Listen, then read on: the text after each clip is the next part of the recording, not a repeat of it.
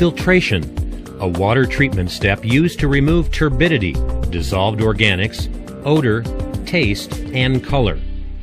The water flows by gravity through large filters of anthracite coal, silica sand, garnet, and gravel. The floc particles are removed in these filters. The rate of filtration can be adjusted to meet water consumption needs. Filters for suspended particle removal can also be made of graded sand, granular synthetic material, screens of various materials, and fabrics. The most widely used are rapid sand filters in tanks.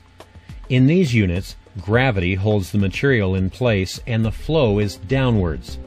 The filter is periodically cleaned by a reversal of flow and the discharge of backflushed water into a drain.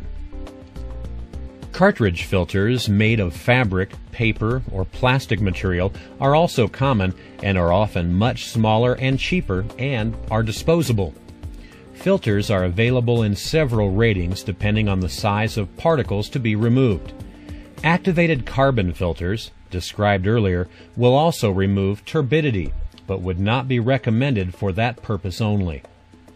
With most of the larger particles settled out, the water now goes to the filtration process. At a rate of between 2 and 10 gallons per minute per square foot, the water is filtered through an appropriate 36 inch depth of graded sand. Anthracite coal or activated carbon may also be included in the sand to improve the filtration process, especially for the removal of organic contaminants and taste and odor problems.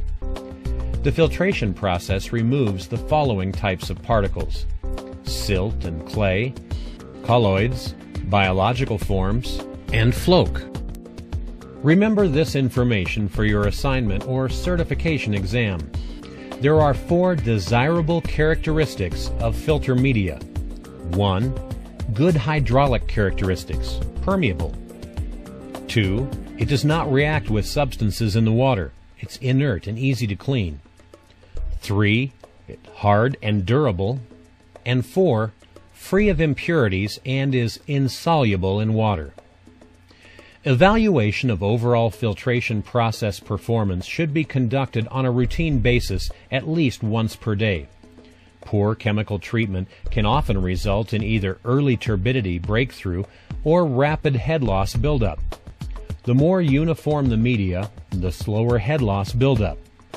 All the water treatment plants that use surface water are governed by the U.S. Environmental Protection Agency's Surface Water Treatment Rules, or SWTR.